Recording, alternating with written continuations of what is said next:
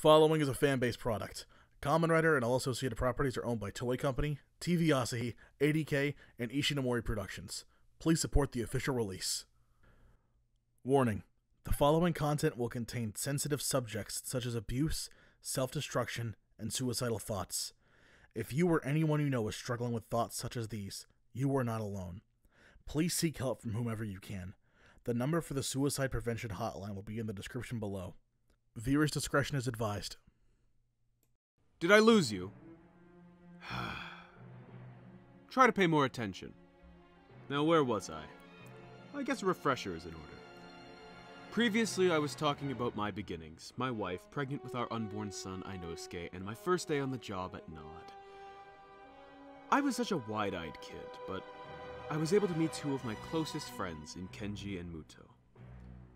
But upon meeting with Joben, my whole world was turned upside down. I knew something was wrong when he mentioned making the deal go one way. And that feeling only exploded when I heard him talking to a client that same night. It was a rough first day, and I thought it may get better in the following days. How wrong I was. Now let's get back to it. Till the building blocks of my dream of Babylon.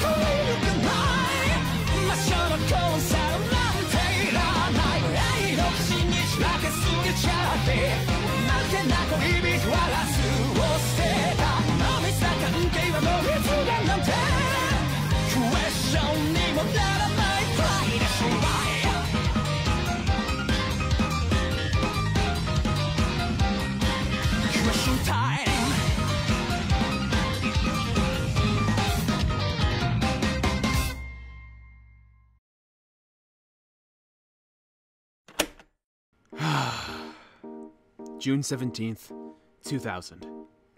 Trying my best to put aside everything I heard yesterday and move forward. Who knows, maybe I was just so tired from my first day on the job that I was just hearing things. Guess I should go in and figure this stuff out.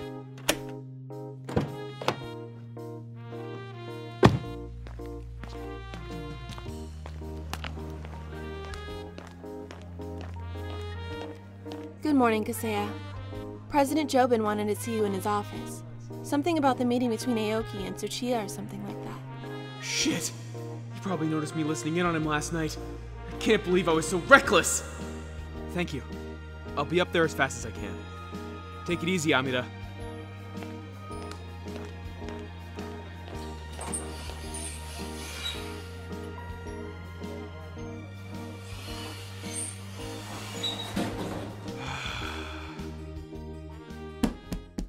That you, Ankoku? Yes, sir. Well, what are you waiting for? Come in and have a seat.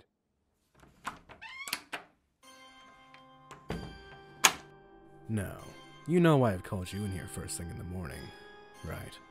This is in regards to the negotiation between Mr. Aoki and Mr. Tsuchiya, if I remember correctly. I heard someone was snooping around last night after hours, right outside of my office.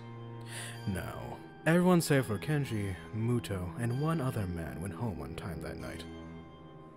Someone snooping around last night? Who could be so sneaky? You tell me, Kaseya. Uh, I. Uh, uh, Did you learn whatever it was you were hoping to learn? What do you plan on doing now that you have the knowledge you have now? Look, Mr. President, I won't be doing anything to damage this company or anyone in it.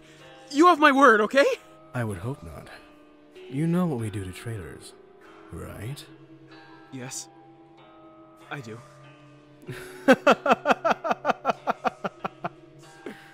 Excellent. I knew you were an outstanding employee, Kaseya. Makes me proud to be a leader. Now, let's get going to that negotiation, shall we? I'm looking forward to seeing a performance firsthand. Let's go.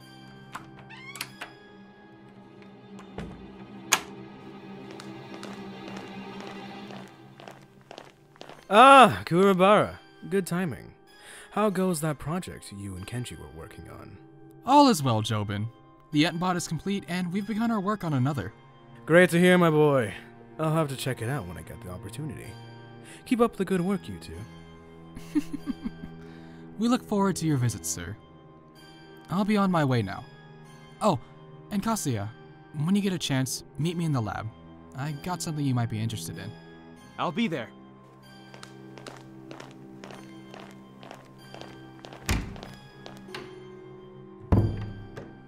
Gentlemen, it's a pleasure to have you both here in one place.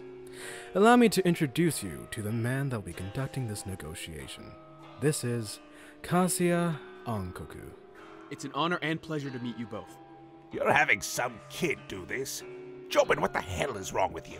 That's not any normal kid. Kaseya Ankoku is the person that single handedly sold house after house back when the economy was still recovering from the bubble pop. Unfortunately, the government decided the sales were null after realizing he was only 16, so they took everything he made and then some. You flattered me with your recognition of my talents, sir. Now, let's cut the introductions and begin this negotiation. Yes, let's get this over with. Don't mind me. I'll be sitting in. Mr. Aoki, according to these documents, the PM has been making plans to reroute the highways away from Saitama directly to the greater Tokyo area. You understand the negative effects this will have on the tourism industry of the region, do you not? We took that into consideration when making the plans in the first place. If you take a close look at those documents, you'll see that we closely examined the money earned from tourism in the Saitama area. We found that while they're seeing consistent tourists, the numbers are falling yearly with no signs of an increase anytime soon. Whereas Tokyo is seeing a larger number of tourists from across the world monthly. We predict that by the time we finish rerouting the roads, people will have lost interest in the old attractions of Saitama and will come to the big city. But you failed to take into account the historical and cultural significance of our region. Sure, we aren't seeing many foreigners anymore, and we may be losing money, but we see thousands of people from all over the country coming in to make the Chichibu Kannon pilgrimage. If we reroute the highways, we'll most definitely see even less foot traffic than we already have. You'll be single handedly killing one of the most major sources of revenue for this region. Mr. Tsuchiya makes a good point. While it is true the numbers are diminishing, the cultural importance of Saitama cannot be overstated. Many people take the pilgrimage with their loved ones and see it as an important moment in their lives. You said Tokyo was already seeing a large rise in tourism from all over the world. There's no disputing that. But if Tokyo is growing as much as it is without the reroute, then what's the point of it? Surely, you know that too many people in one place, while it will increase the money earned by the prefecture, will also negatively affect the residents of an area with inflation rates and pollution. Well, we have plans to combat inflation and pollution. Oh? I don't see them anywhere. Did you bring the documents with the plans? No. Sounds to me like you're offering a false promise. I ran the calculations myself, and I found that Tokyo's average rent would go up by at least 25%, and the price of food and other necessities would increase by a further 41.65. You would be nearly doubling the cost of living all for an increase in tourism in one area, while simultaneously killing it in another. But, but you don't understand. On the contrary, Mr. Aoki, I understand completely. These plans of yours and the Prime Minister's are completely ridiculous and one sided. From one person to another, you should be ashamed of yourself for even considering something like this. Mr. Tsuchiya, your prefecture is safe from the reroute. Are you serious? Mr. Aoki, contain yourself. I most certainly will not! Ah, Joben, what the fuck were you thinking bringing this joke of a negotiator in here for such a delicate matter? Mr. Aoki, you will sit down and shut your mouth this instant! Apologies, I don't know where that came from. Mr. Aoki, unless you can offer some kind of compromise that will benefit you both, I'm afraid we're going to have to deny your plans for the highway. Now, do any of you have any final questions or comments? No questions from me. None from me either. Well then, gentlemen, I believe we're done here. Thank you for coming out here for this negotiation. Drive home safe now. Hold on now. What is it, Joben? Take a seat, Mr. Tsuchiya.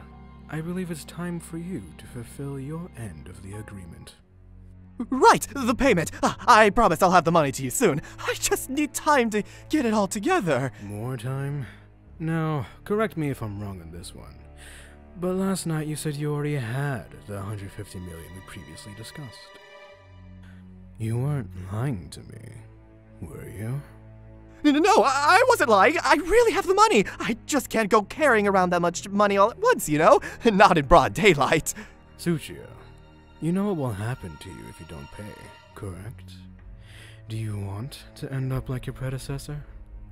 Hata, was it? One week. That's all I need. One week, you say.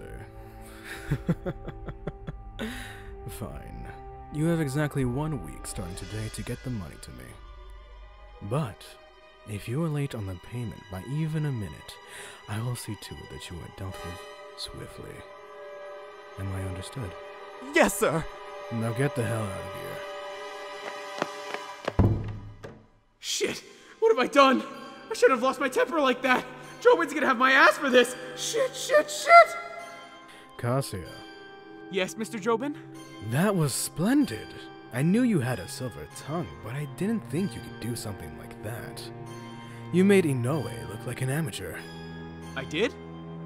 Does that mean. It sure does, my boy. Congratulations.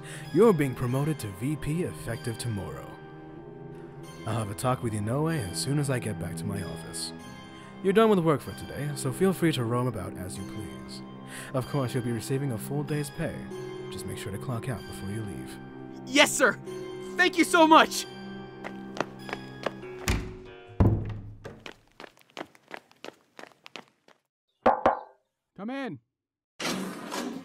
Hey guys! Got let off early today. Now, what was this you wanted to show me, Muto? Ah, that's right.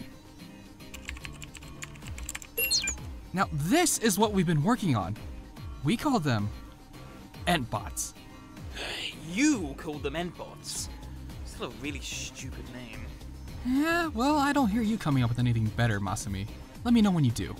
This is incredible! Yeah, I know it is. We put a ton of work into this project, and there's still plenty more to come. I don't understand a thing on there!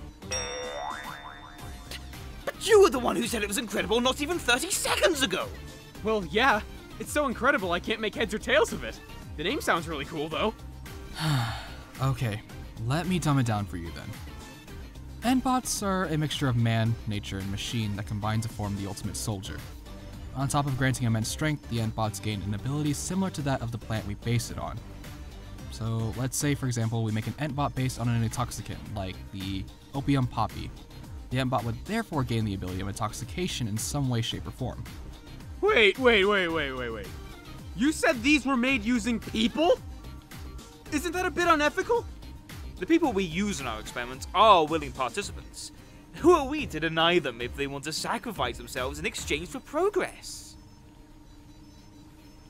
This is a lot. The reason we had you in is because Kenji here wanted to know if he could turn you into one, just in case something were to go horribly wrong. This is meant to be a kindness. If you were to suffer any sort of unfortunate accident, turning you into a Endbot would potentially save your life. Look, you don't have to agree or disagree now. We just wanted to put the offer on the table since you're the closest thing to a friend we've gotten here in. Well, ever. We tend to get attached to people like you rather quickly, if we're being honest here. Do you two really see me as a friend? But we only met yesterday. Well, we don't exactly get out much, and despite barely knowing either of us, you still took us out for a good time yesterday, and we're willing to open up about something on your mind. We don't get that very much, if ever. It struck a chord with us. I guess that makes sense. Yeah. Yeah! We got each other's backs here. With that promotion I just got, I'm only one step away from the top. When I get there, I want you two to be my left and right hand men.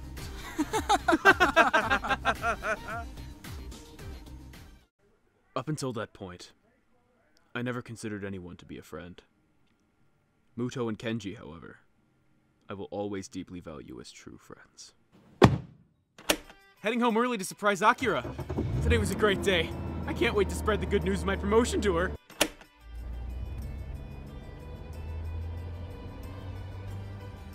Akira! I'm home early! Already? Did something happen? Joben let me come home early after the meeting. Best part is, I got a promotion. Kaseya, that's incredible. I'm so happy for you. Yep, you're looking at the new vice president of NOD. Take up my new position tomorrow along with the pay raise. Vice president? Well then, looks like we should celebrate a little. How does a fancy steak dinner sound for the young VP? You know me a little too well sometimes. Come on, I'm driving.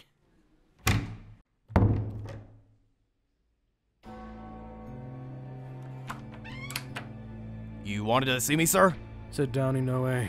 I think we need to have a talk about your position. My position? What about it? There's no sense in sugarcoating it, so I'll cut right to it. Inoue, you're being demoted. Active tomorrow, Kaseya Ankoku will be the new vice president of NOD. Kaseya Ankoku? Wait a damn second! You're demoting me for that little shit? He's barely been here for two days, and you're giving him my job? Now, now, Inoue, eh, calm down.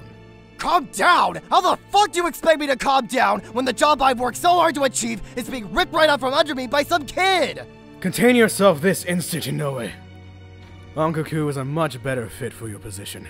He's a natural born leader and makes deals go smoother than you ever could. But sir! No more excuses! Clean out your desk in your office. I expect it to be ready for our new VP by tomorrow morning. Do I make myself clear? Yes, sir. I'll get right on that, Mr. Joben. Good. Now get out of my office. I have some important calls to make, and don't want you sticking up the joint. Damn kid. What am I going to do now?